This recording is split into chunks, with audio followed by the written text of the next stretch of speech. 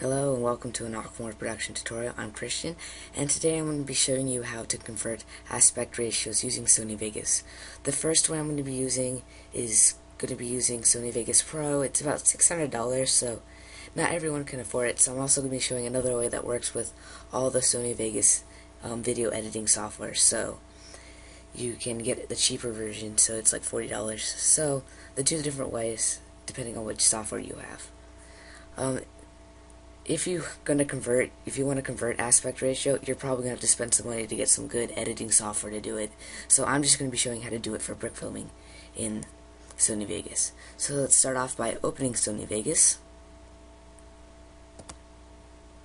Alright, so to start off you're going to want to import your project media, which is pretty simple. Just go to import media.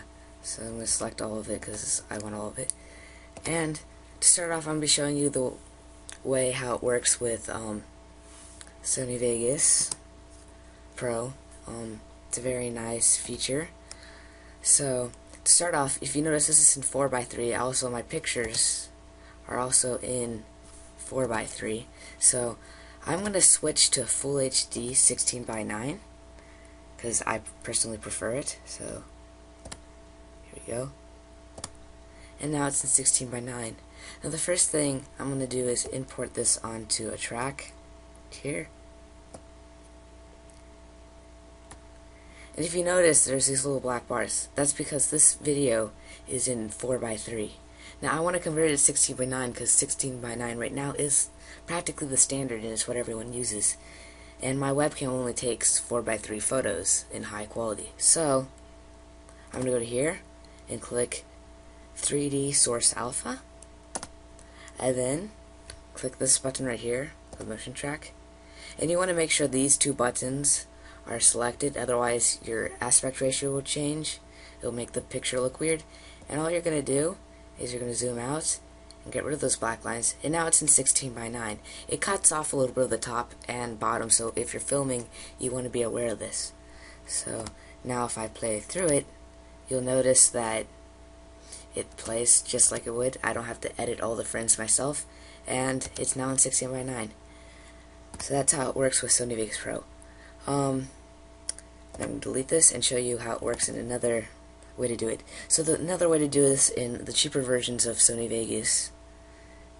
First insert a new video track.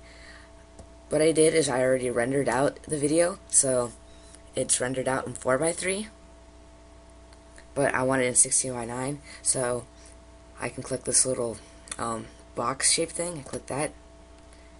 And I want to make sure that this and this are selected. I'm going to zoom in. About there. Something's a little miss skew so then I can take this off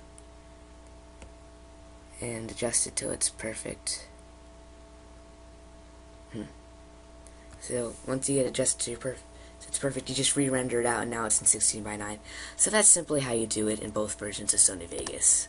It's pretty easy. I personally like having Sony Vegas Pro because it's so much quicker to do it. It's just kind of expensive. So if you can afford to get it, I'd personally suggest it.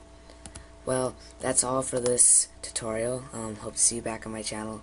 And please subscribe.